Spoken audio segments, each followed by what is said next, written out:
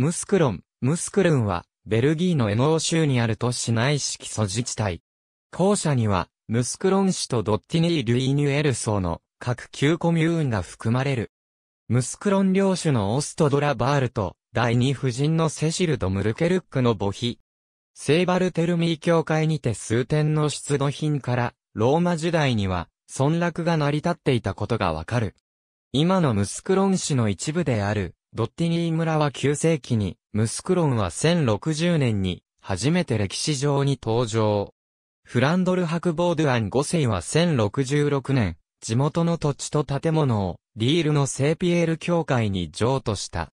この地域における10分の一税徴税権は1149年、トゥルネーの聖マルタン修道院とノートルダム大聖堂が握り、1178年には、近郊のエルソーとリュイーニュの村々のそれも大聖堂の手に渡った。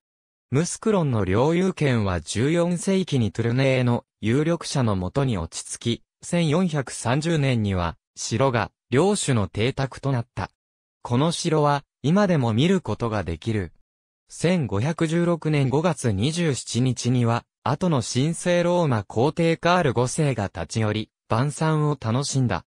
聖バルテルミー教会ユグノー戦争さなかの1575年、ムスクロンでは、城の守りが固められた。それゆえ4年後の1579年に、ご遺戦に乗っ取られた時も、3ヶ月後に奪還に成功した。1627年に、スペイン王フェリペ4世が君主となった。ルイ14世が引き起こしたネーデルラント、継承戦争は、この国葬地帯に壊滅的な打撃を加えた。講和条約のアーヘンの和訳では、終焉部もろともフランス領とされたが、1678年の内名編条約で一部地域が、1713年のユトレヒト条約で全域が南ネーデルラントに組み込まれた。1760年代にリールでアマと羊毛の合成繊維であるモルトン生産が禁じられたため、規制を逃れて繊維産業が起こった。1794年のフルーリュスの戦いでフランス領に戻った。繊維産業は19世紀初頭に綿を原料の一つに加え、さらなる発展を遂げた。